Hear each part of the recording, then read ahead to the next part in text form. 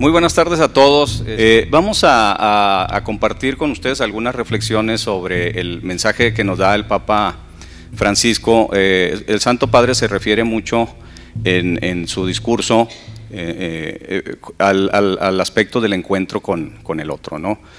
nos habla mucho de temas como la, exclusión, la marginación de los, de los demás. Y, y bueno, estas reflexiones que yo quiero compartir con ustedes pues quiero hacer dos advertencias antes de hacerlas. Lo, primero es que no voy a tocar al gobierno porque a veces a mí me da la impresión de que el gobierno es el mejor pretexto para nuestras irresponsabilidades o nuestras omisiones. Y segundo, voy a decir algunas cosas políticamente incorrectas. Ya dije la primera, que no voy a hablar del gobierno. Eh, y bueno, pues ahí sí, así ustedes van a ir viendo que voy a ir diciendo varias cosas políticamente incorrectas porque me voy a estar refiriendo a la sociedad y la sociedad pues nos incluye a todos los que estamos aquí, incluido el de la voz, por supuesto. Y bueno, pues eh, la primera reflexión que yo quisiera compartir con ustedes es que la sociedad en general, nuestra sociedad mexicana y, la sociedad del mundo en general, el mundo occidental, piensa que la mejor manera de resolver un problema de seguridad es aumentando penas y llenando las cárceles de personas, de delincuentes. Eh, en mi concepto eso puede ser eh, un triunfo de la sinrazón, porque no, puede, no podemos aspirar nosotros a ser una sociedad exitosa teniendo al mayor número posible de personas en la cárcel por el mayor tiempo posible que sea.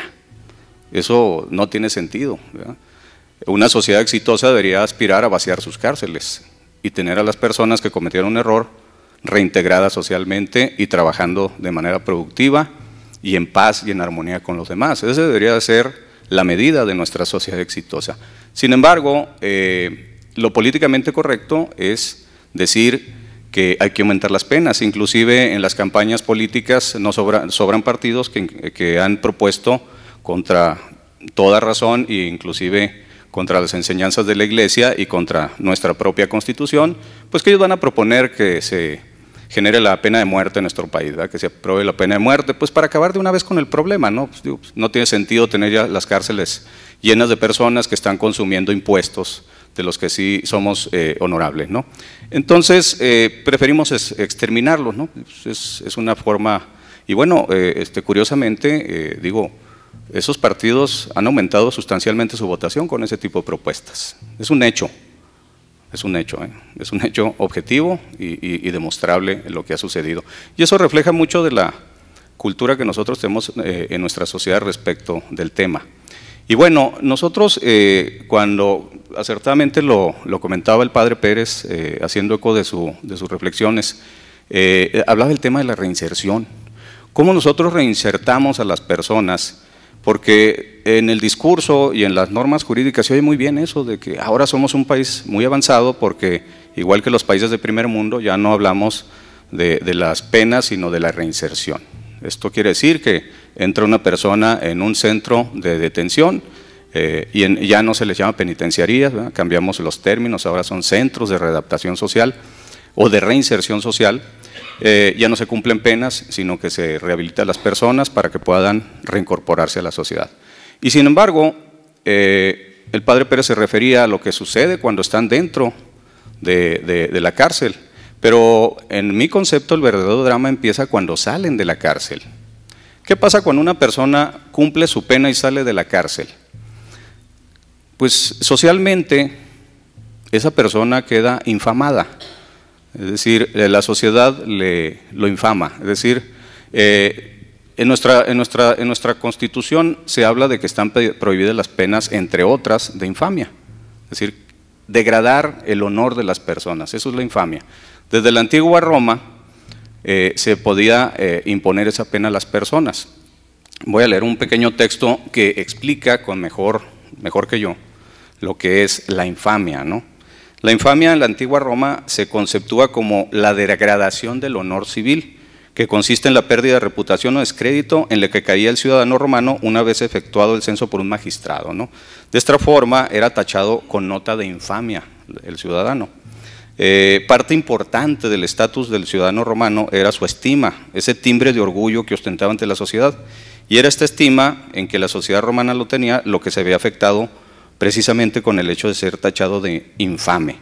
Si bien la infamia no conlleva un impedimento explícito conforme a las normas jurídicas, en la práctica limitaba tácitamente al ciudadano romano en muchos ámbitos de la vida jurídica y social. No podía, por ejemplo, votar en los comicios, ni tampoco acceder a cargo de acción popular, ejercer tutelas, en fin. Pero esta era la infamia jurídica. Hay otra todavía más grave, que es la infamia, infamia social, que es la que desde Roma se le impone a las personas que salen de la cárcel. Nosotros socialmente los marginamos. ¿Cuántas personas salen de la cárcel a querer tratar de reinsertarse? Y aunque haya programas de gobierno y aunque haya este, una serie de normas jurídicas que así lo disponen, socialmente no se pueden reinsertar. Normalmente los marginamos. Eso no es lo que nos pide el Papa Francisco. ¿Estoy diciendo que la tarea es sencilla? No, no estoy diciendo que la tarea es sencilla, requiere de todo nuestro esfuerzo de cristianos y de católicos.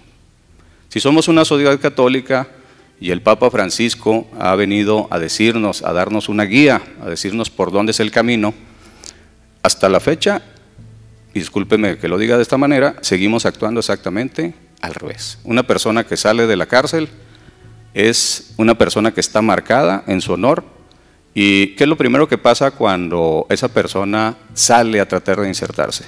Lo primero que se le pide es una carta de no antecedentes penales. Y el problema no es que la expida el gobierno, el problema es que nosotros como sociedad se la exijamos. Y entonces, pues, no, pues no puedo traer mi carta de no antecedentes penales.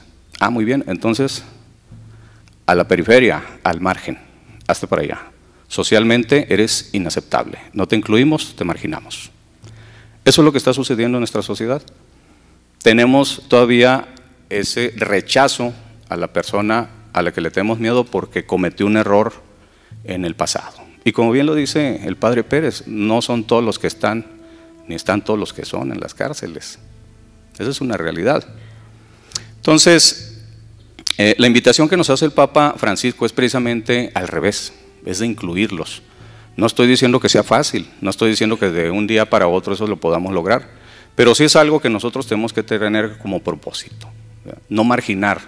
Ellos ya pagaron una deuda que tenían con la sociedad y entonces, curiosamente, seguimos poniendo condiciones para que en vez de reinsertarse, para que en vez de volver a trabajar en paz y en armonía con los demás, ellos son marginados, socialmente marginados.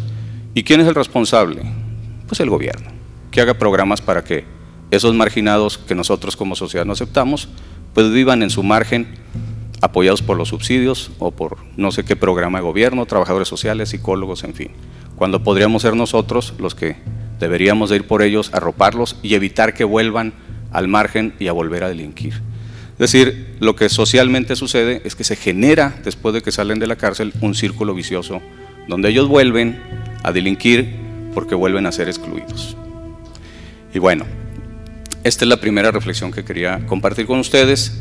También les quería compartir con ustedes el tema de, en, ese mismo, en, en esa misma este, tesitura, eh, de la exclusión. Nosotros vimos ayer cómo se dio un evento en nuestra ciudad donde miles de personas estuvieron frente al río Bravo, frente a la frontera, con, manifestándose eh, en contra de, ese muro que se pretende construir por parte de, un gobernante de Estados Unidos. ¿no?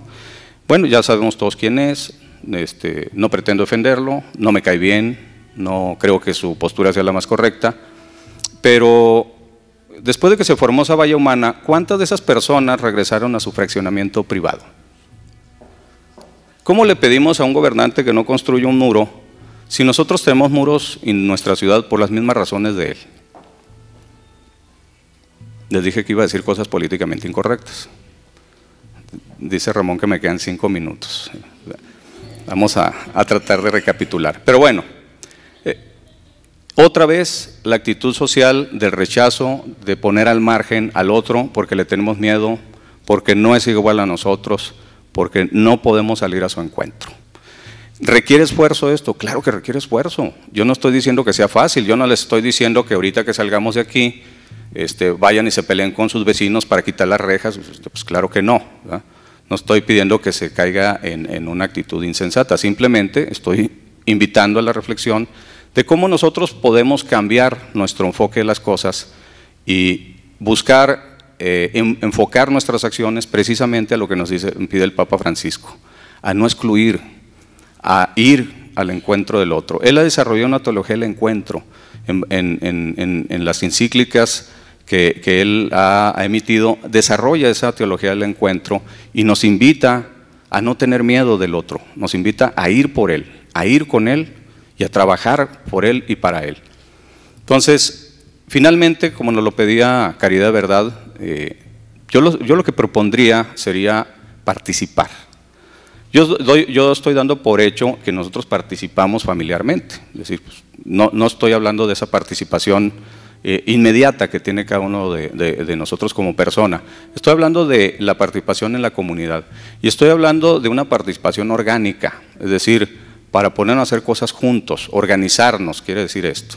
No solamente basta la participación eh, muy juvenil, que yo entiendo que es muy de moda, donde yo todo lo quiero solucionar con un WhatsApp o con un Twitter. Ya mandé el Twitter, qué alivio, ya participé. Se trata de participar de verdad, se trata de participar al lado del otro, se trata de ir por el otro e invitarlo a la alegría, como decía el Papa Francisco, de ser cristiano. Y de eso se trata esto, de invitarnos a todos a participar, a ser parte de. Dice el Papa Francisco en una de sus encíclicas, el todo es más importante que la parte. Es decir, el nosotros es más importante que el yo. La participación hace que eso se encarne, que eso sea posible, que vayamos por el otro y que el otro participe con nosotros. Eso es muy importante. Yo solamente quiero terminar con una frase este, que por ahí escuché alguna vez, que me gustó mucho. Dice que en el buen sentido del término, todos estamos condenados a los otros. Estamos condenados a estar con los otros, a relacionarnos con los otros. Y sin embargo, ese es el mejor regalo que nos ha dado Dios. Yo los invito a no rechazar ese regalo. El mejor regalo que nos ha dado Dios es los otros. Sin los otros no somos nada. Necesitamos, para ser nosotros, para ser, para ser yo, necesito a los demás. No rechacemos ese regalo. Los invito a que lo aceptemos, lo hagamos y hagamos del prójimo el motivo de nuestra mayor alegría. Muchas gracias.